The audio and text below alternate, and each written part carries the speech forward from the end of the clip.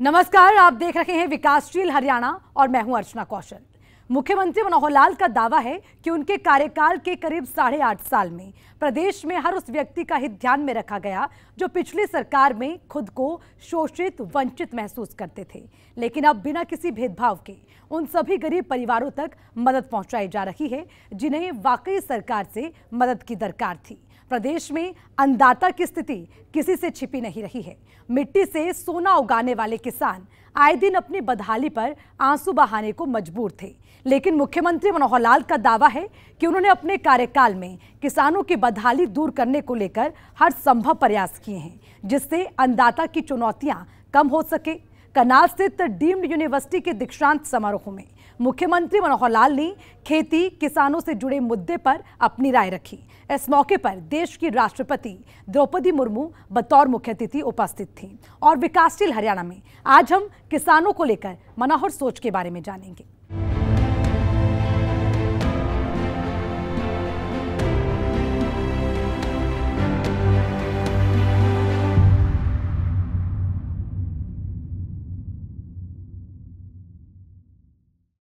करनाल स्थित राष्ट्रीय डेयरी अनुसंधान संस्थान का 19वां दीक्षांत समारोह आयोजित किया गया। इस मौके पर देश के राष्ट्रपति द्रौपदी मुर्मू, प्रदेश के मुखिया मनोहर लाल, कृषि मंत्री नरेंद्र तोमर समेत कई गणमान्य लोगों ने अपनी उपस्थिति दर्ज कराई। इस दौरान सभी ने अपने संबोधन में हरियाणा के विकास कार्यों की जमकर सराहना की। दूध दही का खाना, अखाड़े में पसीना बहाना। दुनिया भर में हरियाणा की यही पहचान है। डीम्ड यूनिवर्सिटी के दीक्षांत समारोह में राष्ट्रपति द्रौपदी मुर्मू ने इसका ज़िक्र करते हुए कहा कि आज हरियाणा दुग्ध उत्पादन में काफ़ी आगे निकल चुका है। राष्ट्रपति मुर्मू ने इसके लिए एनडीआरआई की टीम को बधाई देते हुए कहा कि दूध से बने खाद्य पदार्थ हमारी संस्कृति का हिस्सा रहा है। माँ के दूध के साथ गाय का दूध स्वास्थ्य वर्धक माना गया है। हिंदू धर्म में दूध को अमृत का स्थान दिया गया है। अपने संबोधन में राष्ट्रपति द्रौपदी मुर्मू ने कहा कि डेयरियों में 70 प्रतिशत भागीदारी महिलाओं की है। मुझे बताया गया है कि आईसीआर द्वारा जारी रैंकिंग में एनडीआरआई पिछले पाँच वर्ष से लगातार देश के सभी कृषि विश्वविद्यालय में प्रथम स्थान पर बना रहा है। मैं इस उपलब्धि के लिए एनडीआरआई की पूरी टीम को बहुत बहुत बधाई देती हूँ। देवियों और स्वजनों, दूध और दूध से जुड़े उत्पाद हमेशा से भारत के खान पान और संस्कृति से अटूट हिस्सा रही है। विशेष करके हरियाणा मुख्यमंत्री जी ने हम सबके सामने, क्योंकि यहाँ के बच्चे स्पोर्ट्स में ज़्यादातर भाग लेते हैं, यहाँ वीरों का भी भूमि है, सैन्य संस्थान में जाते हैं। माँ के दूध के साथ गाय का दूध भी स्वास्थ्य के लिए अमृत माना जाता है।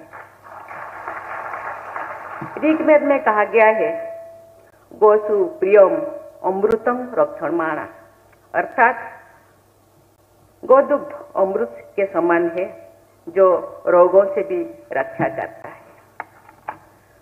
दूध को पवित्र माना जाता है, इसीलिए इसका उपयोग देवताओं के अभिषेक के लिए भी किया जाता है। आज भी देश में बुज़ुर्गों द्वारा महिलाओं को दूधो, नहाओ, पुतो, फलों का आशीर्वाद दिया जाता है। गाय और अन्य पशुधन भारतीय समाज और परंपराओं का अभिन्न अंग रहे हैं। भारतीय परंपरा में गाय सहित पशुधन को समृद्धि और सौभाग्य का प्रतीक माना गया है। गाय के प्रति श्री कृष्ण का प्रेम शिव जी और नंदी की कहानियाँ हमारी संस्कृति में शामिल है।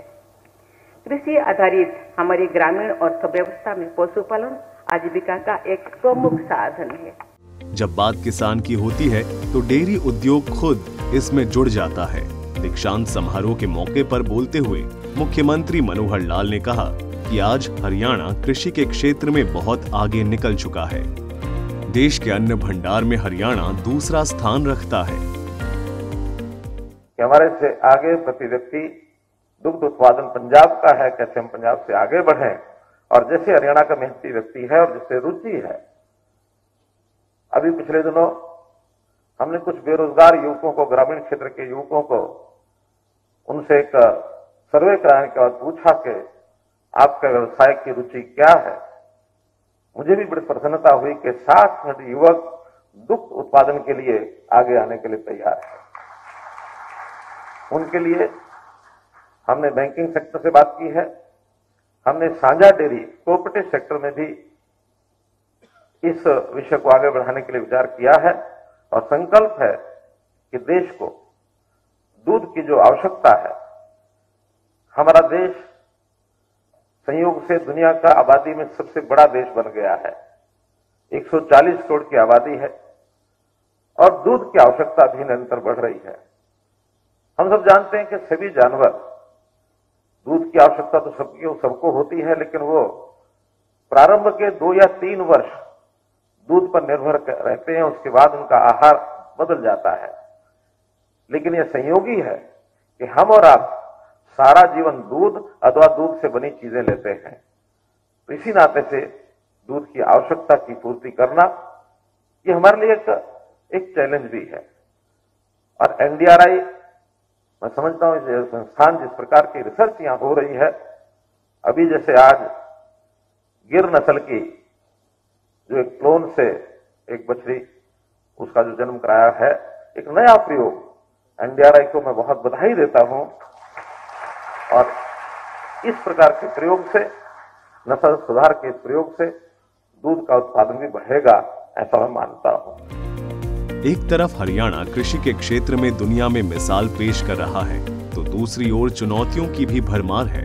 मुख्यमंत्री मनोहर लाल ने इस पर चिंता ज़ाहिर करते हुए कहा कि हमें अच्छे स्वास्थ्य के लिए अन्न की गुणवत्ता में सुधार करने की ज़रूरत है। पानी को कैसे अधिक से अधिक बचाए, इस पर किसानों को सोचना होगा। विशेष तौर पर, क्योंकि हरियाणा का मुख्यमंत्री तो मैं हूँ, लेकिन उससे पहले करनाल के विधायक होने के नाते भी मैं आपका बहुत बहुत अभिनंदन करता हूँ। साथियों एनडीआरआई के बारे में जैसे बताया, शताब्दी वर्ष 1923 में प्रारंभ हुआ। करनाल में तो 1955 में ही स्थापना हुई। इससे पहले बेंगलोर में इसकी स्थापना हुई थी। और फिर, जैसा बताया, उन्नीस सौ नवासी में एक डीम यूनिवर्सिटी का दर्जा भी एनडीआर को मिला है। तब से निरंतर आप एक प्रगति कर रहे हैं और एनडीआर का, एनडीआरआई का नाम पूरे देश भर में ये बना है। और जो यहाँ के हमारे छात्र, पूर्व छात्र, उन्होंने जो अनुसंधान किए हैं, उसके कारण से ही ये उपलब्धि मिली है। आज हम पढ़ने वाले जो यहाँ पिछले सालों में छात्र पढ़ने के लिए आए। मन में संकल्प होता जब पढ़ने के लिए आदमी आता है, शिक्षार्थ आइए, सेवार्थ जाइए। आज आपको डिग्री मिली है, शिक्षा की डिग्री मिली है। लेकिन जो सेवा के लिए बाहर जाएँगे तो काम करना होगा, यहाँ की शिक्षा के अनुरूप, यहाँ के ज्ञान के अनुरूप हम काम करेंगे तो सेवा का प्रमाण तो उस काम के कारण से हमको मिलेगा। जैसा पूर्व छात्र बहुत बड़े बड़े स्थानों पर यहाँ पहुँचे हैं अभी मैं, हमारे बीच में डॉक्टर बी एन माथुर जब यहाँ आए थे तो मुझे मालूम है कि बहुत सी संस्थाओं में आप बहुत बड़े अच्छे पदों पर रह करके सेवा करते रहे हैं। तो एनडीआरआई के हमारे कुल सचिव कुलपति महोदय को ज़रूर आग्रह करूँगा, अपील करूँगा कि इतना अच्छा संस्थान और ऐसे अवसर पर हमारे पुराने विद्यार्थी, पूर्व छात्र, उनको बुलाने का भी एक बड़ा अच्छा प्रसंग ये बन सकता है। यहाँ एनडीआरआई के बहुत से छात्र ऐसे हैं जो राष्ट्रीय राष्ट्रीय संस्थाओं में, सेवा संस्थाओं में, सिविल जो हमारी सर्विसेज़ है, उनके अंदर भी बहुत गए हुए हैं।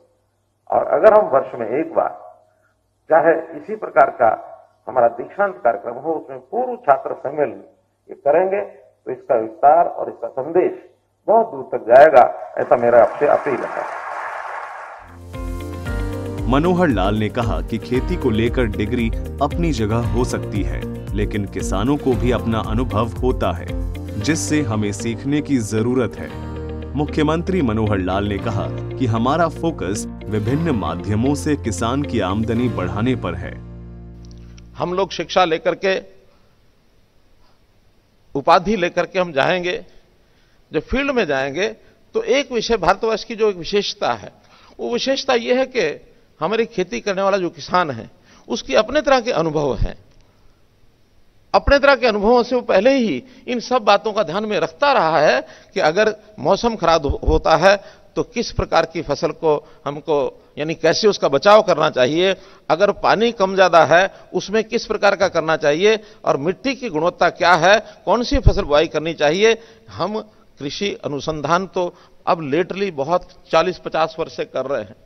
लेकिन हमारा किसान, परंपरागत खेती, जिनका अपना अनुभव है, वो अनुभव बिना शिक्षा के उसने प्राप्त किया है।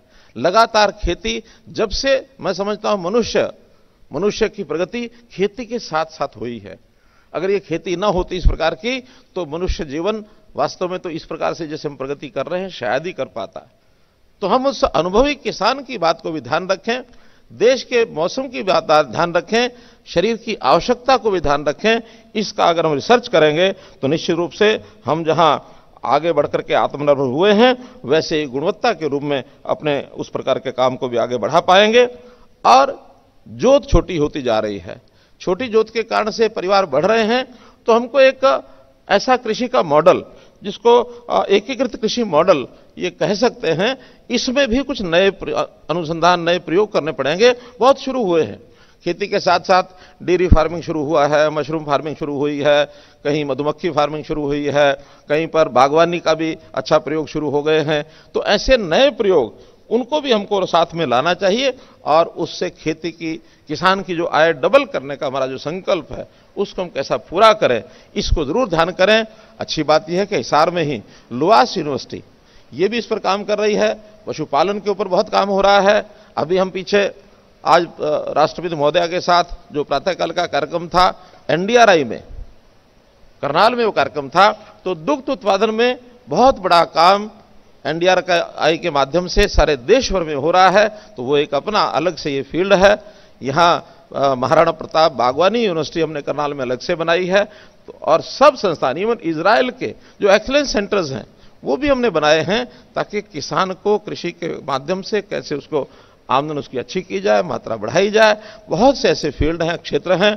मैं तो चाहूँगा कि इस पर भी ज़्यादा ज़्यादा अनुसंधान कर, अनुसंधान करके हम आगे बढ़ें। किसान होगा खुशहाल, तभी प्रदेश कहलाएगा महान। इस सोच को साकार करने में जुटे मुख्यमंत्री मनोहर लाल ने अपने कार्यकाल में किसानों के हित में कई कदम उठाए हैं, जिसका किसानों को लाभ मिल रहा है। मनोहर लाल का दावा है कि उनके कार्यकाल में किसानों की स्थिति पहले से बेहतर हुई है। ब्यूरो रिपोर्ट, सूर्या समाचार।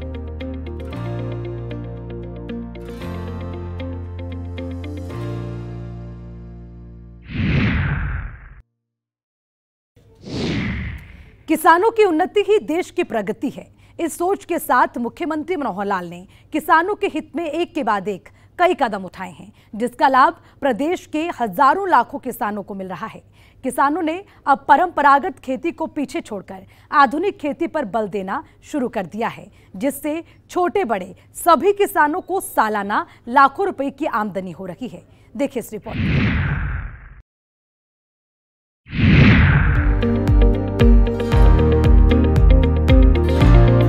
किसान होगा जब खुशहाल, तभी भारत बनेगा महान।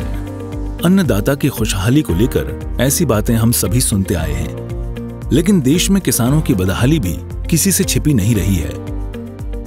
देश का पेट पालने वाला किसान कई बार खुद भूखे पेट सोने को मजबूर होता है।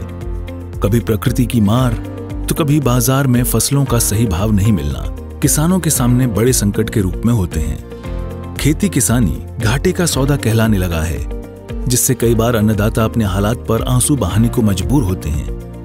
प्रदेश के मुखिया मनोहर लाल खुद किसान परिवार से आते हैं। लिहाजा उन्होंने किसानों के इस दर्द को महसूस किया है और पिछले आठ सालों में कई ऐसी योजनाएँ चलाई हैं, जिसका लाभ प्रदेश के किसानों को मिल रहा है।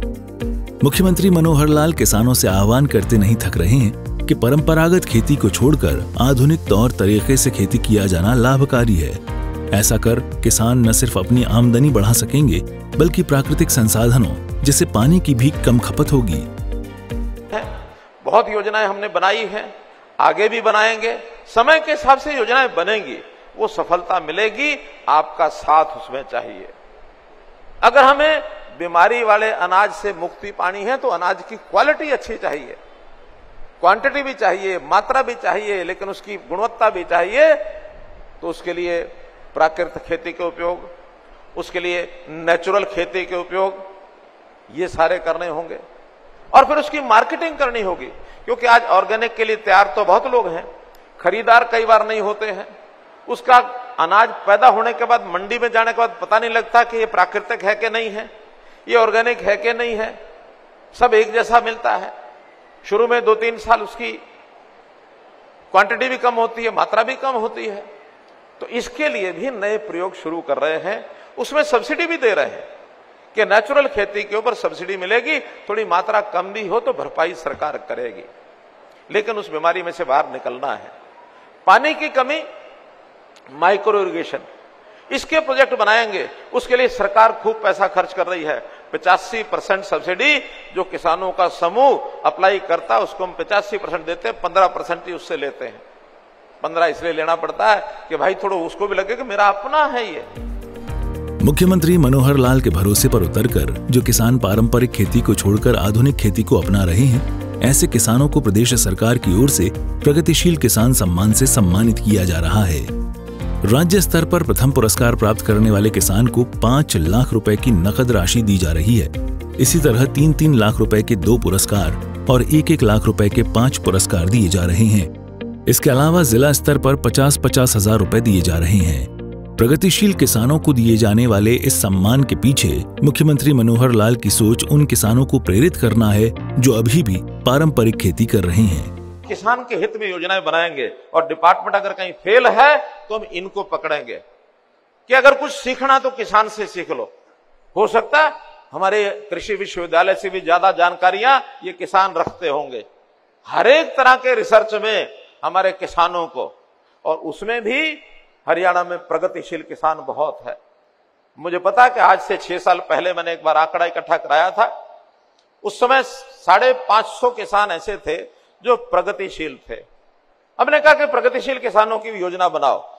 अपने जैसे पाँच किसान और तैयार करो। ये टारगेट दिया था। और उसमें प्रगतिशील किसानों के लिए इनाम भी रखा था। कोई एक लाख, दो लाख, तीन लाख ऐसे कुछ राशि रखी थी।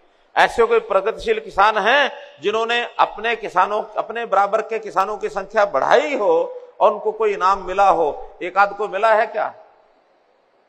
एक, दो, तीन, चार, पाँच, सात, आठ, दस। अभी दस, पंद्रह ही हैं। मैं कहता हूँ सभी साढ़े पाँच सौ जो उस लिस्ट में थे, उनको अपने जैसे किसान और बढ़ाने चाहिए। अरे भाई, हमारी आमदन तो है ही है, लेकिन हम अपने पड़ोसी के किसान को भी वैसा बढ़ा देंगे तो हमारी आमदन घटेगी नहीं। उस प्रकार की खेती वो करना शुरू कर देगा और प्रगतिशील किसान ऐसे ऐसे हैं।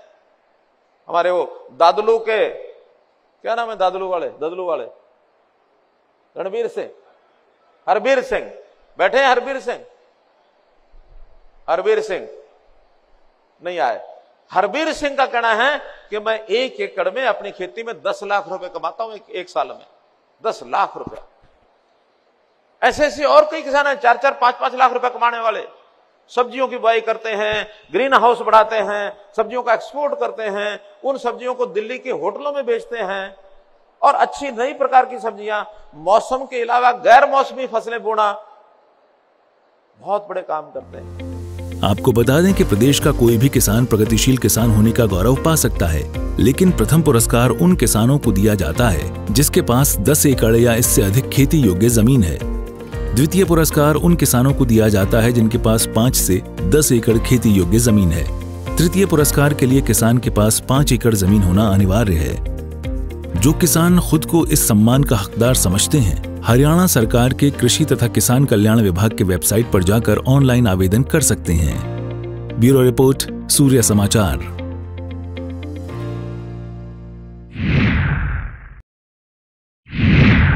प्रदेश में किसानों की आमदनी बढ़ाने को लेकर मुख्यमंत्री मनोहर लाल ने कई योजनाएँ चलाई हैं। कई योजनाओं पर अभी काम जारी है। छोटे किसानों को खास तरह की ट्रेनिंग दी जा रही है। तो वहीं पर किसान मित्र योजना के ज़रिए बड़े किसानों के साथ छोटे किसानों को जोड़ा जा रहा है। फ़सलों की सिंचाई के लिए पानी उपलब्ध करवाया जा रहा है। मार्केटिंग पर विशेष फोकस किया जा रहा है ताकि प्रदेश का हर किसान खुशहाल हो सके। किसानों के नाम पर राजनीतिक रोटियाँ तो खूब सेकी गईं, चुनावी दावे और वादे भी हुए लेकिन इस बात से मुँह नहीं मोड़ा जा सकता कि प्रदेश में कई ऐसे छोटे बड़े किसान हैं जिन्होंने खेती किसानी को नुकसान का सौदा मान लिया था। साल 2014 में प्रदेश की कमान मुख्यमंत्री मनोहर लाल को मिली और तभी से किसानों को समझाने का प्रयास जारी है कि अगर आधुनिक तौर तरीके से खेती की जाए तो कम ज़मीन से भी लाखों की कमाई हो सकती है। मशरूम की खेती है, डेयरी फ़ार्मिंग है, मधुमक्खी पालन है, कहीं फूलों की खेती है, कहीं जो भी कोई खेती के साथ मिला करके हम काम कर सकते हैं, उन कामों की तरफ़ भी लोगों को आगे बढ़ाना पड़ेगा, ताकि थोड़ी ज़मीन भी है। फ़सल जितनी होती है, ले ज़्यादा से ज़्यादा ले अच्छी फ़सल ले साथ में कोई ना कोई काम और कर ले। और करेंगे तो उसमें से भी अपनी आमदन बढ़ेगी। तो मित्रों, ये सब काम चाहे वो क्वालिटी का है, चाहे बीमारियाँ खत्म करने की बात है केमिकल और पेस्टिसाइड से अपना रास्ता निकालने की बात है। इसमें नई नई टेक्निक आखिर हमारे कृषि विश्वविद्यालय, इनसे अपेक्षा की जाती है रिसर्च करो। ज़मीन उतनी है, अच्छे बीज अच्छा उसमें किस प्रकार से उसके पौधे की क्वालिटी अच्छी हो सकती है।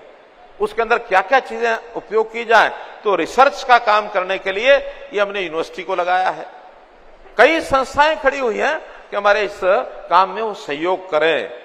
हमने मार्केटिंग बोर्ड ये बनाया है, ताकि फ़सलों की खरीद का सिस्टम ठीक बन जाए एमएसपी पर फ़सलें बिक जाए। हरियाणा प्रदेश, पहला प्रदेश ऐसा है कि 11 फ़सलें एमएसपी पर हमने घोषित की है। सेंटर तो दो चीज़ें खरीदता है। गेहूँ और धान। गन्ना हमारी मिले ले लेती हैं। चौथी फ़सल की गारंटी सेंटर नहीं देता है। हमने उसके साथ साथ और अन्य फ़सलें। बाजरा है, मक्का है, मूंग है, कहीं तिलन है। ये सारी चीज़ें बढ़ा करके सबसे ज़्यादा फ़सलें एमएसपी घोषित की हैं। और अगर कोई फ़सल एमएसपी पर नहीं खरीदी जा सकती है, मानो सरकार की लिमिटेशन है, जो खरीदेंगे हमको उसका उपयोग भी करना पड़ेगा। ज़्यादा हो जाएगी तो मंडी में बेचना पड़ेगा। उसमें फिर घाटा होगा सरकार को। हम सोचते हैं उस घाटे को लेने की बजाय अगर किसान को भाव कम मिलता है तो सीधा पैसा किसान को दे दिया जाए। उसके लिए हमने भावांतर भरपाई योजना लागू की है। बीस के लगभग सब्ज़ियाँ और फल, इसके अंदर भावांतर भरपाई योजना दी है। बाजरे में हमने भावांतर भरपाई योजना दी है दो साल से। और भी फ़सलें, पहली बात तो सरकार खरीदेगी। न खरीद सके तो बाज़ार भाव का और एमएसपी का जो अंतर है, वो सरकार आपको देगी, ताकि आपका एमएसपी वो सुनिश्चित हो जाए। किसानों की आमदनी दोगुनी करने को लेकर मुख्यमंत्री मनोहर लाल ने प्रगतिशील किसान ट्रेनर योजना की शुरुआत की है। इस योजना के ज़रिए एक योग्य किसान को अपने आसपास के 10 ऐसे किसानों को गोद लेना होता है, जो कमज़ोर हैं और खेती की कम समझ रखते हैं। इन किसानों को आधुनिक तरीके से खेती करना सिखाया जाता है। फिर ये सभी दस किसान दस दस और किसानों को अपने साथ जोड़ते हैं। इसी तरह किसानों की एक चेन बनती जाएगी और एक किसान से दूसरे किसान, प्रगतिशील किसान की श्रेणी में आते जाएँगे। गोद लेने वाले किसानों को उनके कार्य के अनुसार पुरस्कृत किया जाएगा। प्रदेश में किसानों का एक बड़ा तबका आर्थिक रूप से कमज़ोर है, जिन्हें सरकार की ओर से हर संभव मदद दी जा रही है। लेकिन सरकारी मदद से एक कदम और आगे बढ़ते हुए मुख्यमंत्री मनोहर लाल ने प्रगतिशील किसान मित्र योजना की शुरुआत की है। इस योजना के तहत एक मज़बूत और सफल किसान को आर्थिक रूप से कमज़ोर और कम जानकारी वाले सौ किसानों को गोद लेना होता है। फिर उस किसान को आर्थिक रूप से मदद करनी होती है और ऐसा कर सभी किसानों को सफल, प्रगतिशील बनाना होता है। ज़ाहिर है, मुख्यमंत्री मनोहर लाल की सोच इसके ज़रिए किसानों की आमदनी बढ़ाने के साथ प्रदेश के विकास को रफ्तार देना भी है। ब्यूरो रिपोर्ट, सूर्या समाचार।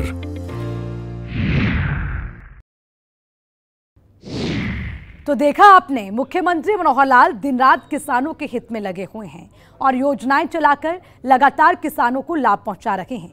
विकासशील हरियाणा में मेरे साथ आज के लिए इतना ही। मुझे दीजिए इजाज़त। कल किसी और मुद्दे पर फिर आपके सामने हाजिर होंगे। नमस्कार।